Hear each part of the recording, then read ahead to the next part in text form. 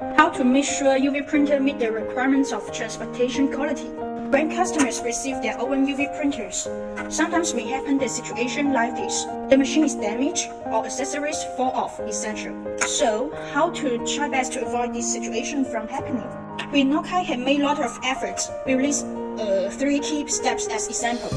Firstly, before delivery, we will have 9 hours vibration test to test the firmness of whole structures and accessories. Secondly, when for machine packing, we use the thick tray as the basic, stabilize those four thick cups.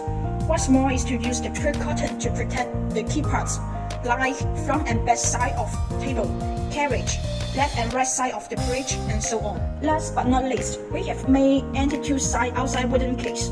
If the side turns into red, that means the wooden case is tilt. In this situation, need to make sure everything is right before received. To know more info, please follow us, not just for sales but service.